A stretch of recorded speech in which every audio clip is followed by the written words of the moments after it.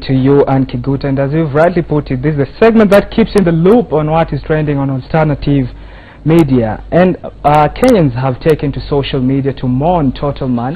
That is Kipyator Nicholas Kiprono Rabiwot who passed away in Nairobi yesterday following a long illness. Let us take a look at some of the tweets posted under the hashtag RIP Alright, and uh, Patrick Kazola says, uh, we have lost two prominent leaders within five days.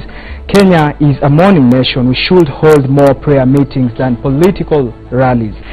Andrew Kipkoech Sudi says, uh, my sincere and heartfelt condolences to the family and friends of Nicholas Biwott. May he rest in peace. And Kigen Albert says, this is a sad week in Kenya. Lost two iconic figures Rest in, rest in peace, Biwott? Rest in peace, Nkaissery. May God be with your families and grant peace to your souls. And finally, Captain Brian Kirui says he gave, that is Biwott, gave our family overwhelming support when at uh, Nancy was running for Member of Parliament for Bomet East. A true total man. Rest in peace, Biwott. And may Biwott's soul rest in peace. Alright, and moving on to another story. Yesterday, NASA presidential candidate Raila Odinga lashed out at President Uhuru Kenyatta in a tirade of tweets accusing the head of state of propagating a false narrative that Mr. Odinga is bent on ensuring that there will be power sharing between NASA and Jubilee formations. After the August 8th general election, Odinga refuted the alleged claims by President Kenyatta in a tweet saying, and I quote him, Uhuru is unashamedly propagating Nusumkate fantasies and lies no one believes we have no plans of sharing power with you, Mr. President. Alright, and in what sections of termed the classy response to Mr. Odinga, Uhuru tweeted, My brother Raila Odinga, happy to see you have recovered.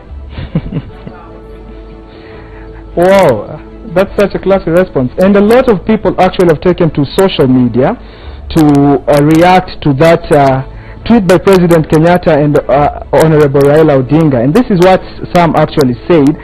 Josh, that is at uh, I am underscore Mwita, wish you two could be responding to each other more often. Another one, Boniface Njenga says, wow, that's a great, coming from a great uh, leader. Let us all support peace. And another one, uh, that is Abed Lelgo says, thank you, Mr. President, for checking on your brother at Raila Odinga. And uh, finally, uh, Chunga Vandu says, Baba, our prayers are strong and God is with Kenya. Thanks for checking on a brother. Jane in peace is what we want from you two loved leaders. Wow. I wish uh, President Uhuru Kenyatta and uh, the NASA presidential candidate Raila Odinga could engage on Twitter more often and spread messages. Hopefully won't go the Trump way. I hope so too. Actually, a lot of people on uh, the Twitter feeds were saying that we hope it won't go the mudslinging and Trump way. All right. All right. Mm -hmm. And moving on to another story that uh, in Uganda, Kyadondo East MP, that is Bobi Wine, whose real name is Robert Kyagulanyi, was sworn in yesterday at Uganda's parliament. As soon as he had stepped out of his car alongside his wife, Bobby, Bobi was met by a huge group of reporters eager to have his say on finally getting to parliament. And this is what he said, I quote him, the last time I was in parliament, I was in standard 1, that was in the year 1989, Bobi Wine was the first time uh, elective in uh, was the first time uh, person to be elected into politics that is from music. Uh, and he beat five other seasoned politicians in a in a very uh, hotly contested by election held in late July late June sorry and was widely celebrated his win was widely celebrated by his supporters. Let's take a look at uh, the video of Bobi Wine being sworn in at parliament buildings in Uganda yesterday faithful service to this Parliament and support and uphold the Constitution of the Republic of Uganda by law established. So help me God.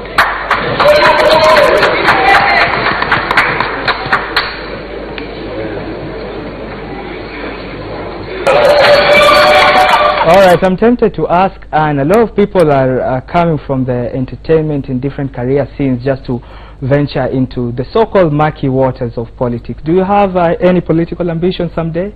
What? no comment. I'm not speaking to the media. All right, Anne Kiguta has actually declined to speak to the media about whether she has Watu wa magazeti hapana. anaogopa sana watu wa magazeti anasema atakuwa misquoted all right Mm. we take that Anne Kiguta has no comment on whether she'll one day sit Oh my gosh, could you see. stop with it and move on? Seriously, all right I can see Anne Kiguta there getting a bit uneasy let me move on and rarely do we see a head of state drive a bus unless it is President Uhuru Kenyatta of course he understands when and how to change gears. The head of state had recently promised to donate a school bus to Masai Girls High School, and having delivered on the promise, he launched it in style by being the first person to drive the bus. Let us watch that video that is currently circulating extensively on social media.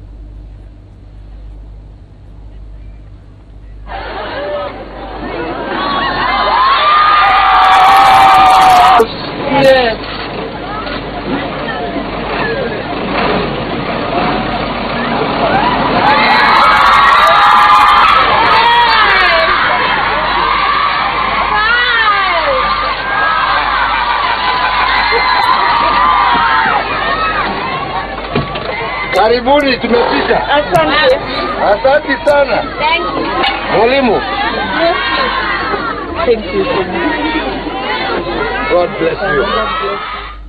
Wow.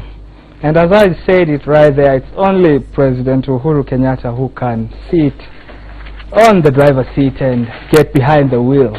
And even say karibuni, tumefika. Wow.